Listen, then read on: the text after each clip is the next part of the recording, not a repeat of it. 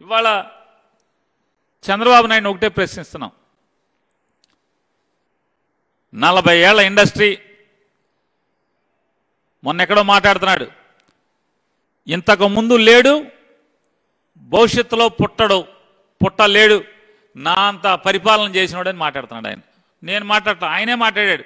పద్నాలుగేళ్ళు ముఖ్యమంత్రి చేసినాడు ఇంతకు ముందు లేడు భవిష్యత్తులో పుట్టడు ఈ రాష్ట్రంలో అని చెప్పి మాట్లాడుతున్నాడు. రెండు రాష్ట్రాలు కలిపినా కూడా అని చెప్తున్నాడు. మరి నలభై ఏళ్ళ ఇండస్ట్రీ. ఇంతకు ముందు పుట్టలేదు రేపు పుట్ట పుట్టలేడు ఎవడు అని చెప్పి చెప్తున్నావు కదా చంద్రబాబు లాంటి పరిప అంటే అన్నాళ్ళు ఎక్కువ నాళ్ళు చేసిన వాళ్ళు ఏం చెప్పాలి? ఏమని ఓటు అడగాలి? నేను చెప్పేది వింటే చంద్రబాబు నాయుడు నువ్వు అద్దం ముందు ఉంచుని నాకు ఇదేం కర్మ రానుకోవాల్సిందే రెండు వేల నాలుగులో రాజశేఖర రెడ్డి గారు వచ్చాడు. రెండు వేల తొమ్మిది ఎన్నికల్లో నాలుగు ఎన్నికల్లో ఏం చెప్పావు? ఉచిత కరెంట్ ఇస్తా అంట రాజశేఖర రెడ్డి. ఉచిత కరెంట్ ఇస్తే కరెంటు తీగల మీద కరెంట్ ఉండదు కరెంటు తీగల్లో కరెంట్ ఉండదు బట్టలాలు వేసుకుంటాక మాత్రమే పనికి వస్తాయని చెప్పావు. రెండు వేల తొమ్మిదిలో ఏం చెప్పావు? ఎన్నికలకు వచ్చేప్పటికి?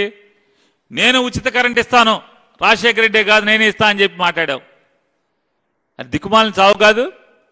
నీ నోటితో ఏ నోటితో అయితే రెండు వేల నాలుగు ఎన్నికలకు ముందు ఉచిత కరెంట్ ఇవ్వటం ఎవడి వల్ల సాధ్యం కాదు? ఉచిత కరెంట్ ఇస్తే రైతులకు కరెంటు తీగల్లో కరెంట్ ఉండదు అవి బట్టలు ఆరేసుకుంటాకి మాత్రమే పనికొస్తాయి అని చెప్పిన స్టేట్మెంట్ ఇచ్చి నువ్వు ఐదేళ్ళు తిరిగేప్పటికి రాజశేఖర రెడ్డి దెబ్బకి నేను తొంభై తొమ్మిది నుంచి రెండు వేల నాలుగు మీకు పరిపాలన అందిస్తానని కదా నువ్వు చెప్పాలి? తొంభై తొమ్మిది నుంచి రెండు వేల నాలుగు దాకా నేను ఏ పరిపాలన మీకు ఇచ్చానో అదే పరిపాలన మీకు ఇస్తానని చెప్పాలి కదా? అది చెప్పట్లా.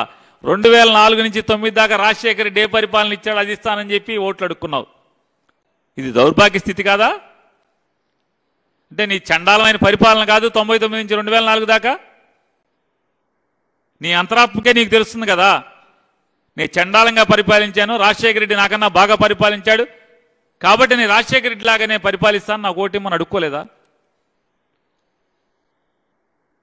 మరి ఇవాళ ఏం అడుక్కుంటున్నావు? ఇవాళ దాకా ఏం మాట్లాడాం? నువ్వు చెప్పాలి కదా. జగన్మోహన్ రెడ్డి దమ్ముగా చెప్పాడు. రెండు వేల పద్నాలుగులో కానీ రెండు వేల పంతొమ్మిదిలో కానీ రాజశేఖర రెడ్డి సంక్షేమ రాజ్యాన్ని తీసుకొస్తాను. నాకు అవకాశం ఉండని చెప్పి అడిగాడు ఓటు. ఇప్పుడు నువ్వేం అడగాలి రేపు ఇరవై నాలుగుకి ఓటు రెండు వేల ఇప్పుడు ఇవాళ? నేను రెండు వేల పద్నాలుగు నుంచి పంతొమ్మిది దాకా నా పరిపాలన చూశారు కదా. ఆ పరిపాలన మళ్ళీ తెస్తాను అని చెప్పాలి కదా. అది చెప్పట్లా. జగన్మోహన్ రెడ్డి సంక్షేమ కార్యక్రమాలు నేను కొనసాగిస్తానని చెప్పేటట్టు దిక్కుమాలిన రాజకీయ బ్రతుకైపోయిందని కూడా ఒకసారి అర్థం చేసుకోండి. ఇప్పుడు కర్మ ఎవరికి? మీకు కాదా కర్మ? ఇదేం కర్మ అనేది చంద్రబాబుకి కాదా? పవన్ కళ్యాణ్కి కాదా? తిట్టిన నోటితోనే పొగట్టం? ఎవడన్నా కోరుకుంటాడు అసలు? పగోడికి కూడా ఈ సావు వద్దురా బాబు అనుకుంటారు. మీ కర్మ కాదా ఇది? జగన్మోహన్ రెడ్డి పరిపాలన మేము కూడా తీసుకొస్తామని జనాలను అడుక్కోవడం మీ కర్మగాకేంటది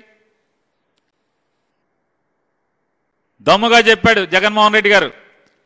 మా నాన్న ఒక అడుగేస్తే నేను రెండు అడుగులు వేస్తానన్నాడు. రెండు వేల నాలుగు నుంచి తొమ్మిది దాకా రాజశేఖర రెడ్డి పరిపాలన మీకు మళ్ళీ తీసుకొస్తానని చెప్పాడు.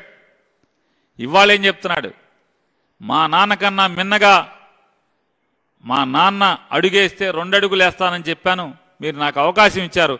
నాలుగు అడుగులు వేశాను. ఇంతకన్నా మించిన పాలన ఇస్తానని చెప్పి అడుగుతున్నాడు. ఇది కదా రాజకీయంగా దమ్మున్నోడి పాలన. మీకు అనిపించట్లేదు ఇప్పుడు ఇదేం కర్మ అని ఒకసారి అనుకోండి. మీ అంతరాత్మ ప్రశ్నించుకోండి. కర్మ కాదా మీకు ఇది పగోడి పరిపాలన నేను కొనసాగిస్తానని చెప్పుకోవటం నాడు రాజశేఖర రెడ్డి పాలన కొనసాగిస్తానని తొమ్మిదిలో చెప్పి ఇవాళ జగన్మోహన్ రెడ్డి పరిపాలన కొనసాగిస్తానని చెప్పుకునే కర్మ మీకు పట్టిందంటే నిజంగా కర్మ ఇది మీకు.